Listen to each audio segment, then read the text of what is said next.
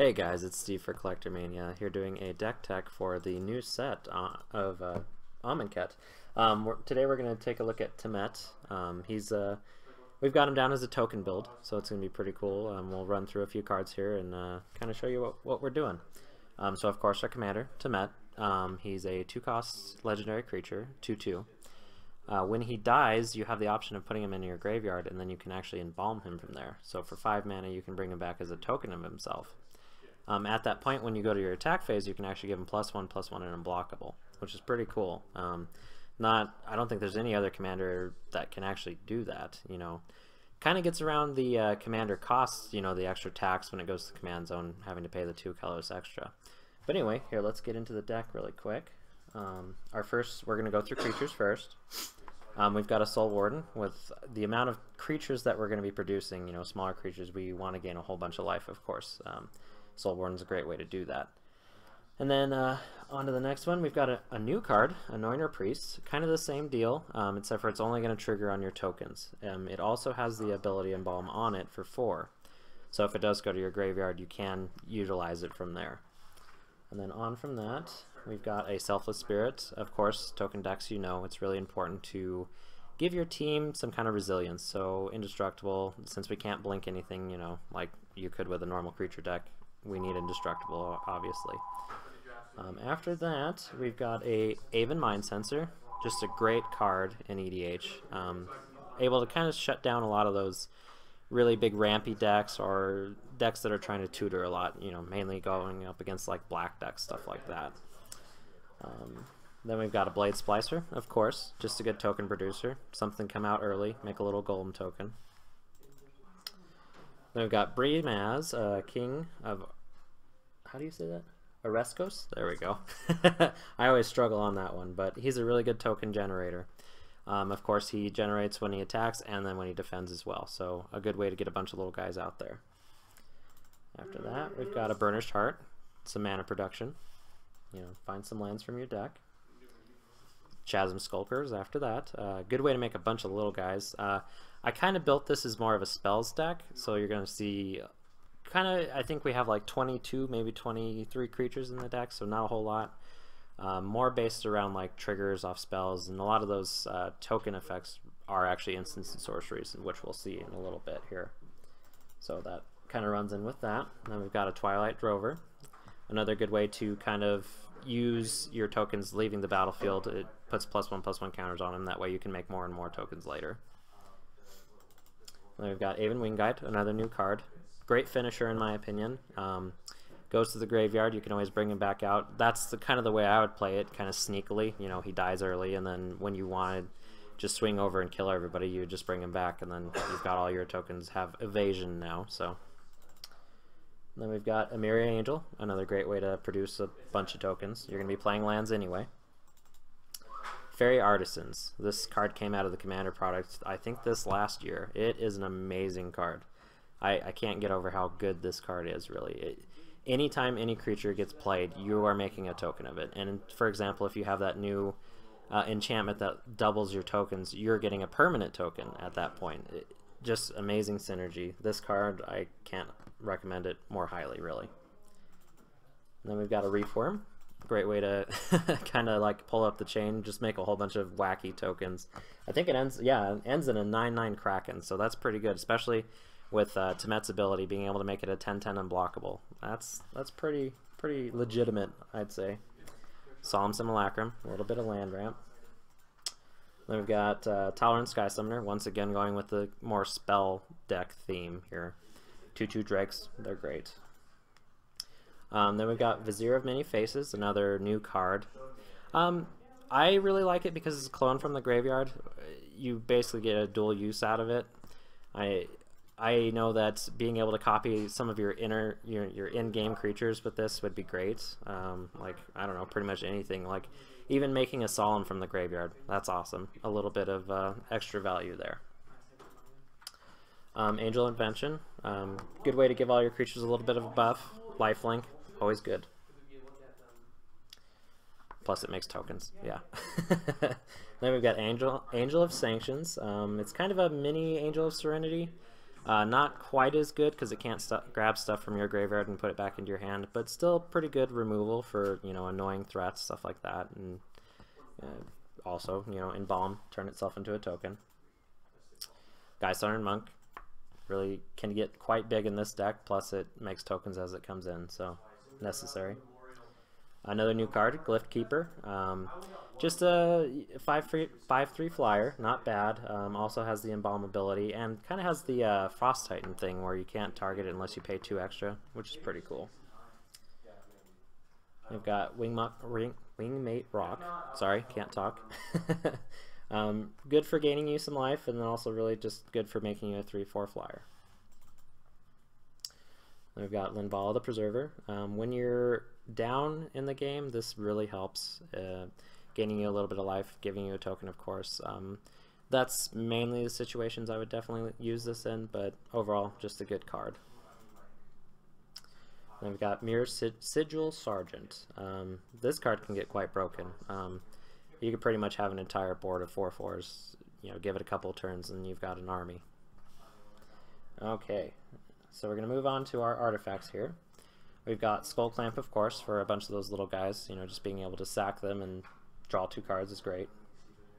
Then we've got Sol Ring, of course. Azorius Signet for a little bit of ramp. Blade of Selves. Uh, this card is amazing in here, of course. You know, once again with that enchantment that uh, doubles up on your tokens. The other side of those tokens you get to keep, so I mean, really, just make an army. We've got Talisman of Progress, some more ramp. Mimic Vat, great way to copy other people's creatures and then turn them into tokens. Uh, Bonehoard, I cannot overstate the synergy between this guy and like germ tokens because they come in, they automatically are unblockable. So whatever equipment they're equipped to, it's great. Uh, Bonehoard being really, really good, you know, it can get really, really big. The next one I think we have on here is Batterskull, so another really good example of that the lifelink, the vigilance, just automatically being a giant creature that's unblockable. That's awesome. Um, getting into our spells here, our sorceries, we've got Entreat the Angels, um, of course, big token maker. Rite of Replication, just a good way to win the game, honestly, pretty much. Makes tokens. And then we've got Sram's Expertise. Uh, Reflections. I've never actually played with this card. It looks like a lot of fun, though. Tempting Offer. I, I know that that one uh, mana ramp card has uh, been used a lot, you know, over the years, and I, am interested to see if uh, this one will work out really well too. um, increasing devotion, an old standard favorite of mine.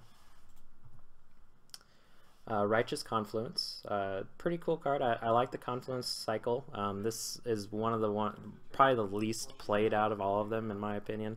Maybe besides the red one, but I don't know. It should be pretty good. I mean, it's got a little bit of removal on it, you know, destroying enchantments. It can gain you some life. Can also make you just three two two tokens, so not bad.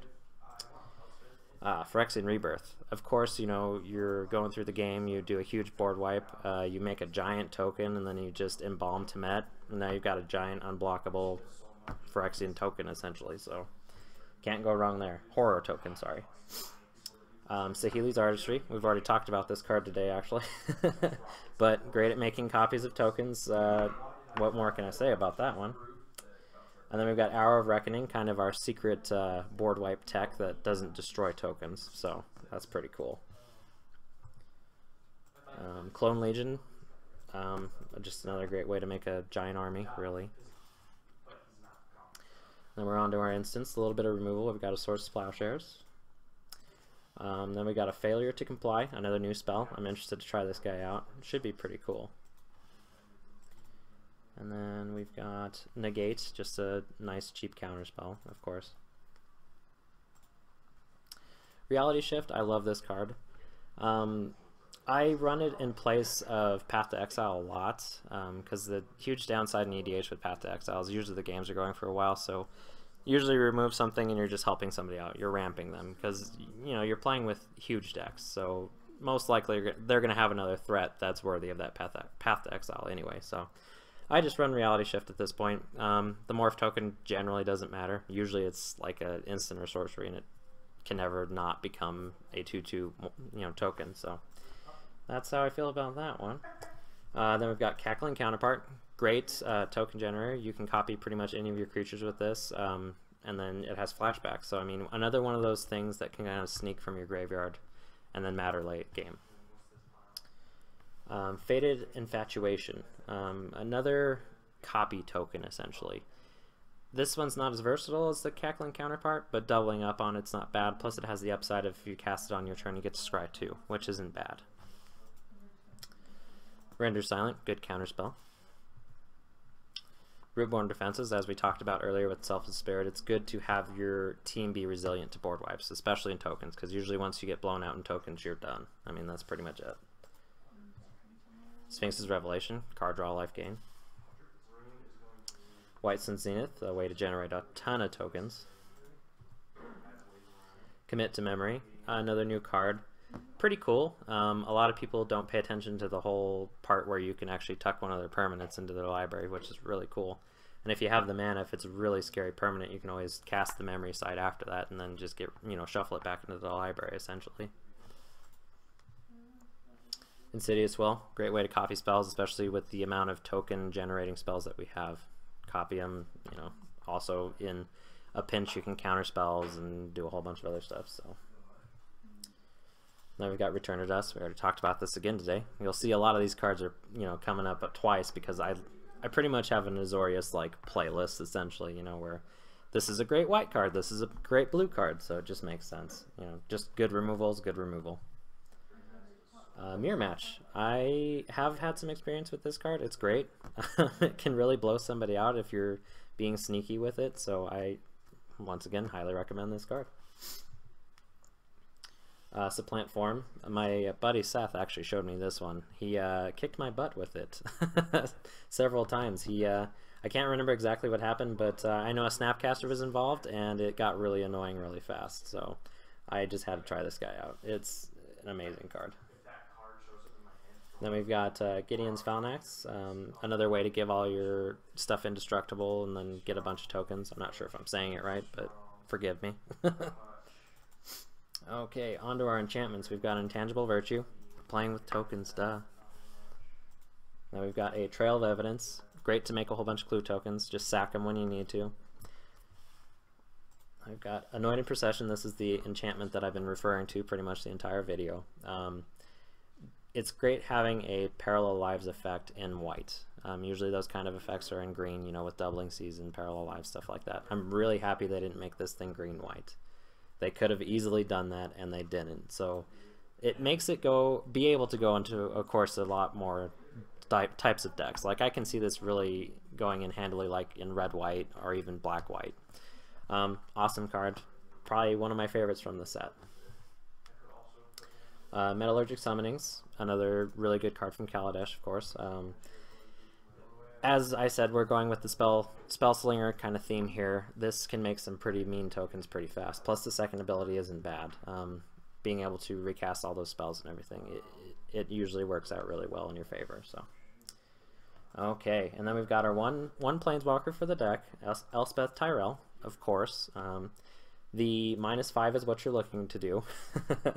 I don't know how common that's going to be for you, but I mean, she's just pretty good overall. I mean, I've used her before and she ends up working out pretty well. I believe we're going on to our lands here, so in alphabetical order, of course, we've got Adarkar Waste, Arcane Lighthouse, Azorius Chancery, Azorius Guildgate, Command Tower, Dark Depths, some secret tech there, um, Flooded Strand, Ghost Quarter, Glacial Fortress, Hallowed Fountain, Islands, of course, Kor Haven, Mystic Gate, Plains, uh, Temple of Enlightenment, and then Thespian Stage. Now, of course, the Thespian Stage is in there to work with the Dark Depths. How cool is it to be able to have a 21-21 unblockable, giant, flying, indestructible monster? That's really what I want to do with it, of course. Um, obviously a lot of people will see what you're doing pretty quick, but if you do it in the same turn, I know you can't give it haste in this deck necessarily, but it could be pretty cool. Um, but with that, that's the end of the deck tech. Um, I hope you guys have enjoyed. Um, of course, give us, you know, likes, comments, uh, tell us what we're doing right, tell us what you'd like to see differently, and uh, we'll see you next time. Thanks, guys.